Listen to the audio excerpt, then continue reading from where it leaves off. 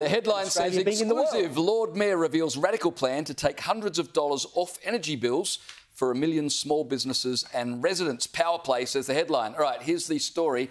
Up to a million residents and small businesses across Melbourne's inner suburbs could have their power bills slashed under an ambitious renewable energy plan unveiled by Lord Mayor Nick Reece. Now, the idea is that the council will bulk purchase renewable energy and then sell it to uh, local businesses and local residents, I guess, at a reduced price. So the Melbourne City Council are going to become. I'm looking at you because I think the Sydney Council did something similar. Yeah, they've been they effectively do they become the middle person in this? You've got the renewable energy companies, you've got the consumers, and now councils are inserting themselves in the middle of that bulk buying from yeah. one and on selling to the they, other. They essentially become like a, a, power wholesaler, right? And and like once upon a time, energy generation was a, a nationalised thing yeah. in Australia, and, and then slowly we sold off the poles and wires, and we sold off the, the coal-fired power plants, etc to big companies. Everything old is new again. But let's not forget that when uh, uh, Peter Dutton